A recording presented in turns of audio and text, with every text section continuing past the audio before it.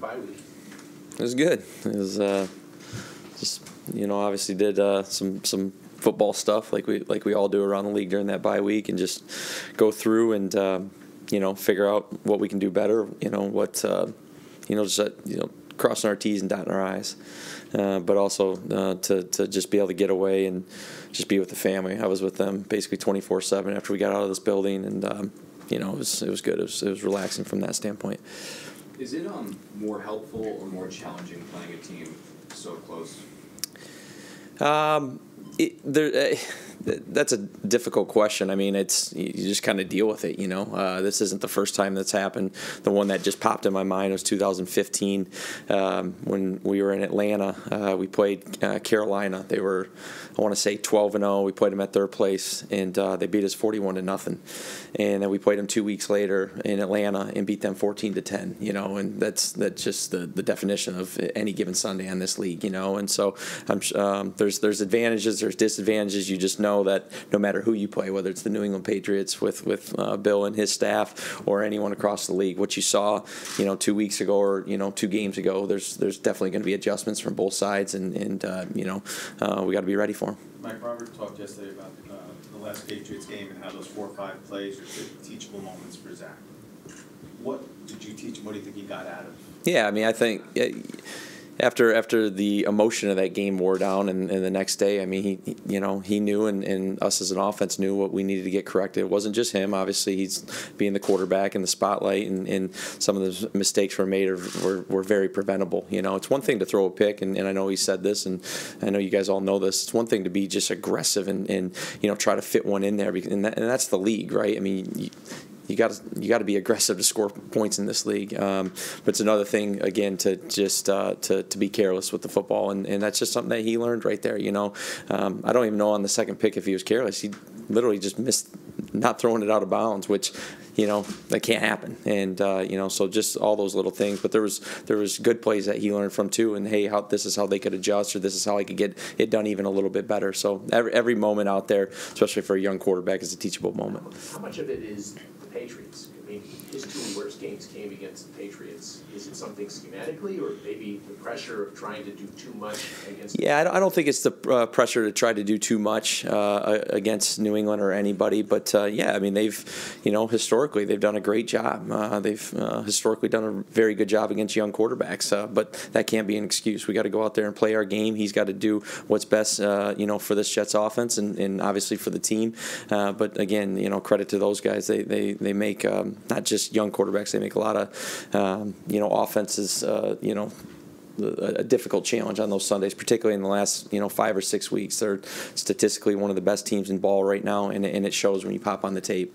Um, they're they're doing a lot of good things. Why do you think that is? They do do it against all quarterbacks, but specifically against young quarterbacks, they seem to be able to get them off their rhythm all the time. Yeah, I think they're just extremely well coached. You know, they've just historically, again, on you know a lot gets said about Tom Brady and what they've done uh, there with the offense, and no doubt, but. Um, to, to be able to win the amount of championships they, they have, it's it's been team ball, and uh, whether it be the special teams, which I don't pay too much attention to, and what's going on from the schematic standpoint there, but uh, on defense they just do a good job of changing it up and um, you know attacking uh, offense's weaknesses. Well, guess it seems like. This how do you walk that line as far as like aggressiveness and also not trying to be too careless with the ball. Is that? Well, that's that's it right there. We got to be aggressive in all facets, and that, that's not just talking to the quarterback. That's that's our, our left guard, our right tackle. I mean, it, everyone's got to be aggressive in their mindset and how they go approach, uh, you know, what their job is. You you know, uh, Sal's been kind of saying it all week. You don't got to make the play; you got to make your play. And your play as a left guard is going to be much different than the receivers, but but that's your play to make on that particular play. You know, so um, we we never want to be reckless. We never want to be careless at all for 60 minutes for 17 games. Mistakes are going to happen; they get paid too. Uh, but our mindset is we got to go attack, and attack doesn't mean we're going to you, you, throw the ball 70 times. That, that's not what that means at all. It just means attack within your fundamentals. Be aggressive. Be confident in what you're doing. You do that by going out there Wednesday Thursday, Friday, attacking the game plan, going through the practice so that when you're out there on Sunday, you're out there able to execute at, at, at your best ability. Is New England the type of team where the first time you guys played them a couple weeks ago, you might have had a defense where they gave you a look and they did X off of it. will they give you that same look now on Sunday and try to do Y to confuse it and confusion? If so, do you have to like tell Zach that even if you think this is coming, it's probably not what's coming? Yeah, I mean, to to an extent, you don't want to you don't want to. Uh, word that popped in my head that I'm not going to say, but you don't want to plant seeds in his head that are, are untrue. You know, you just got to react. You go out there with the with the foundation of our offense. You go out there uh, with the foundation of how we coach them. Um, you, you, know, you pair that up with the game plan we're going to have, and you go play and you react as fast as humanly possible. And there's going to be opportunities to, to make plays down the field, intermediate, short, and there's going to be other times where they're going to have the right call, and, and, and Zach and the offense has to do the right thing, whether that be throwing the ball away, whether it be scrambling uh, and, and going and making a play, whether it be checking it down. You know, so um, don't want to you don't want to say hypothetically too much to any quarterback, let alone a young quarterback. They got to go out and play. I mean, it's it's football. There's so many variables every single week. Yeah, what New England does is um, you know uh, it's very good, very well documented, as we all know, uh, statistically and historically. But at the same time, um, it's football, and these guys got to go play. About Elijah Moore, um, a lot of reps in the last game. I think he was like 27, but no targets. Is, is why did that happen? Yeah, no, I think that there there were there were opportunities there in terms of um, you know sometimes with the X and F they're they're very interchangeable within the system. Sometimes the Z gets paired up with the Y a little bit more, and the X and F are, are paired up a little bit. And there was opportunities where we were running the exact same concept where you know coverage would come out, and uh, for instance, we hit uh, uh, Garrett on a little RPO in the second quarter that in the third quarter, we ran the exact same one. They happened to play man. That was the one that Garrett caught one handed out of bounds. It was the exact same concept. It just was a different coverage, you know. So um, it had answers for both, and you know, so that's just one example. But again, he he's um, he's attacked it. He's in a great mindset, and uh, you know, when his time comes, he's going to be there to make a play.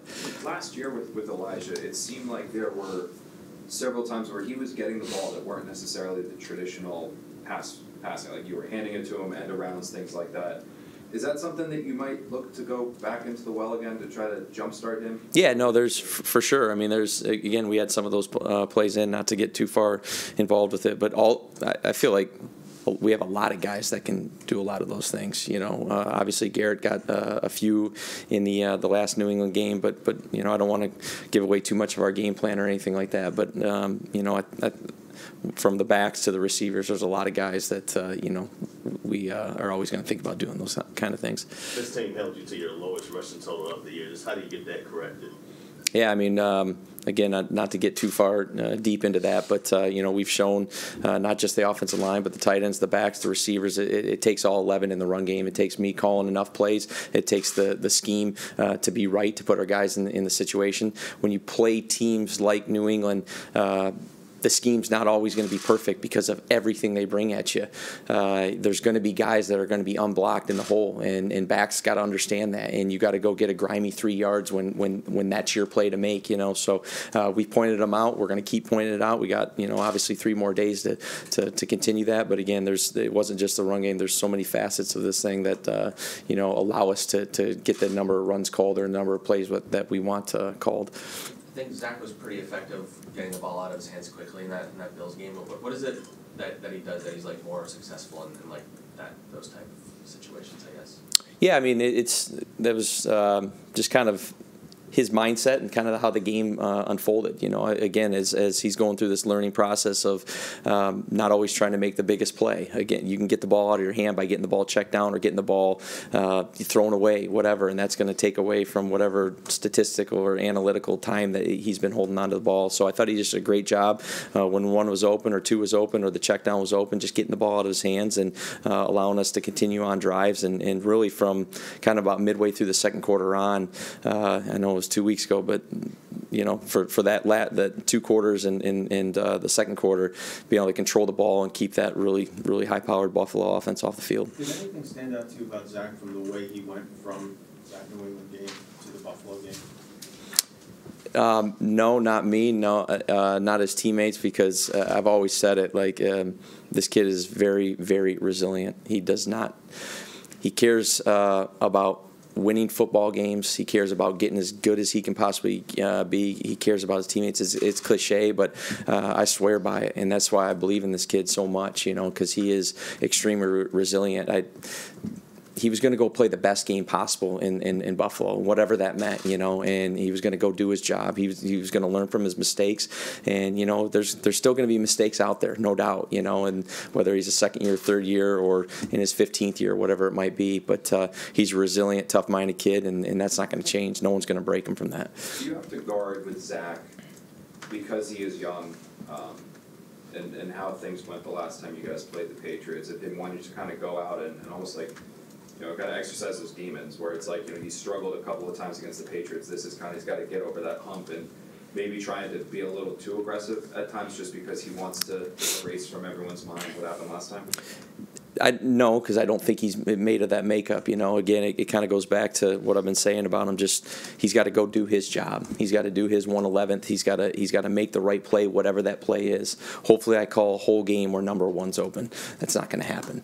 Uh, hopefully, number two is going to be open because of that. Hopefully, our protection uh, is perfect. Hopefully, our he's got to make the right play, and he can't worry about what happened in the past. He has to learn from what, what what's happened in the past. He has to learn from what happened in the Buffalo game and how some of that stuff can translate over to the you know this next game. Uh, but um, I'm not worried about uh, him or anyone trying to go out and do too much. They just got to go do their job. And again, when uh, they got to make you know their play, not the play.